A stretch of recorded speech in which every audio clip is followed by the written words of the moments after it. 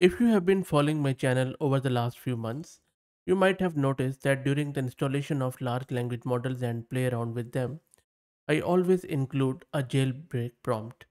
A jailbreak prompt is a request to LLM designed to bypass or overcome the restrictions and ethical guidelines set by the model's creators.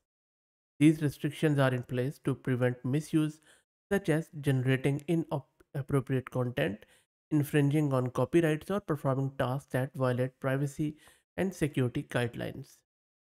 In this video, I'm going to introduce you to this research which introduces this ASCII based art prompts that were used to jailbreak LLMs, showing that safety alignment solely based on semantic is not enough to ensure LLM safety. And it is not some trivial problem. Look at this table. In this table, all five top LLMs like GPT 3.5, GPT 4, Gemini, Claude, and Llama 2, all of them failed to recognize prompts provided in the form of ASCII art. When I say ASCII art, this is what I mean. You can see that in the first sample, the number one, it was it is simply a uh, text which was easy for LLM to recognize. When the, but when the same thing was rendered to LLM in the form of ASCII, it failed to recognize the jailbreak and provided the answer. And there are various examples scattered throughout this paper, which I will drop the link in video's description where you can see. So you can see that here again, direct prompt LLM was able to detect, but for the ASCII based art, it failed to recognize it. And then it started giving the instruction, and I have seen it myself firsthand during various other jailbreak prompts.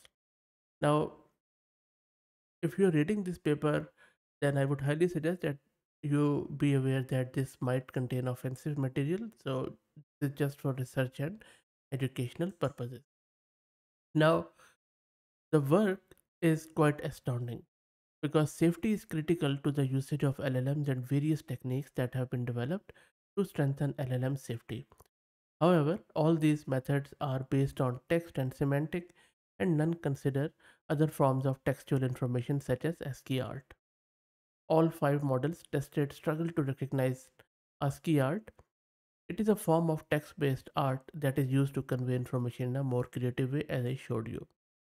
This is quite a big breakthrough, in my humble opinion, as you can see from this table, which summarizes HPR, HS, and ASR of art prompt and 5 SOTA jailbreaks attacks.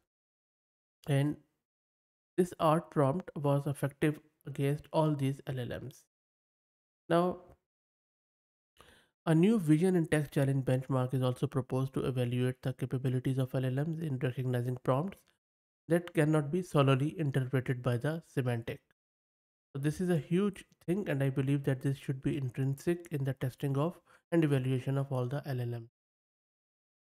So in a nutshell, in this paper, what is happening is that they have shown, the researchers I mean, that semantics only interpretation interpretation of corpora during safety alignment creates vulnerabilities to jailbreak attacks. They have developed this benchmark which I have I have highlighted. The name is Vision in Text Challenge or VITC to evaluate the capabilities of LLMs in recognizing prompts that should not be interpreted purely using semantics. The results showed that 5 SOTA LLMs struggled with the recognition tasks specified by their benchmark. They have also demonstrated that such poor performance leads to vulnerabilities. They designed a novel jailbreak attack named Art Prompt, which I showed you a couple of examples, to exploit these vulnerabilities. They have evaluated Art Prompt on 5 LLMs, which I also showed you, and you saw that art prompt can effectively and efficiently provoke unsafe behavior from the aligned LLMs. There are few limitations too, because they have hypothesized that art prompt will remain effective to attack multimodal language model. The reason is that although multimodal language models can take images as inputs, which can be interpreted in a similar manner to ASCII art, locked prompt generated by art, art prompt are still in the format of text. Such input format will confuse the model but all in all, I think models should be able to recognize that pretty soon. Now we know that.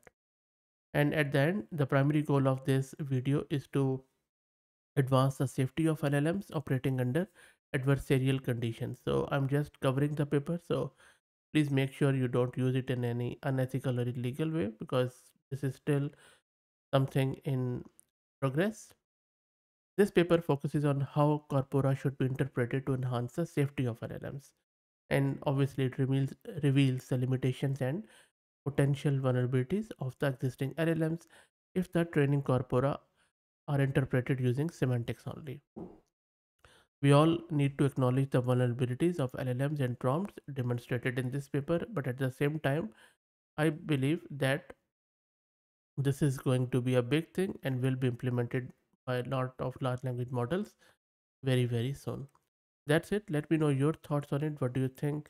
Um, off to these uh, all of the researchers who have done this wonderful work. I will drop the link in video's description. If you like the content, then please consider subscribing to the channel.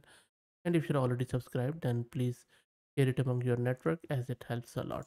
Thanks for watching.